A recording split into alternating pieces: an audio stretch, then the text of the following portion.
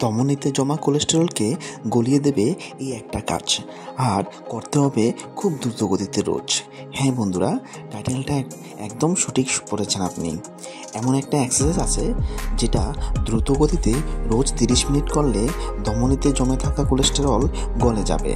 আর আজকের এই ভিডিওতে আমরা জানব সেই এক্সারসাইজ সম্পর্কে। তার বন্ধুরা, আপনারা যারা আমার চ্যানেলে নতুন এসেছেন, তারা চ্যানেলটিকে অবশ্যই সাবস্ক্রাইব করে নেবেন, যাতে স্বাস্থ্য সম্বন্ধীয় কোনো ইম্পর্টেন্ট ভিডিও আপনার থেকে মিস না হয়।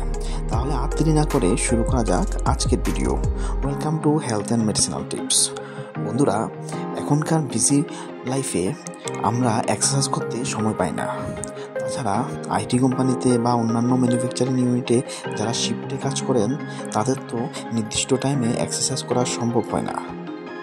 পাশাপাশি আনহেলদি অয়েলি খাবার জাঙ্ক ফুডস বাইরের তেলে ভাজা খাবার, এই সব কিছু সময়ের সঙ্গে ধীরে ধীরে আমাদের ধমনী বা শিরা উপশিরাতে কোলেস্টেরলকে জমাতে শুরু করে।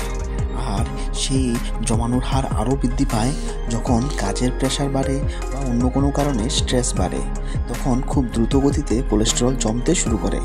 আর ফাইনালি সেই জমানো কোলেস্টেরলের কারণে ব্লকেজ তৈরি হয়ে হার্ট অ্যাটাক হয়।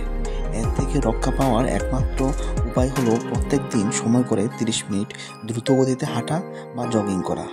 তাহলে ধমনীতে জমানো কোলেস্ট্রল দ্রুত গতিতে গলে যাবে। আর আপনার হার্ট ভালো থাকবে, শরীরের প্রত্যেকটা অর্গানে ব্লাড সাপ্লাই বাড়বে। আর শরীরের প্রত্যেকটা অর্গান খুব ভালোভাবে কাজ করবে। তাই প্রত্যেক দিন অবশ্যই তিরিশ মিনিট দ্রুত গতিতে হাঁটবেন বা জগিং করবেন।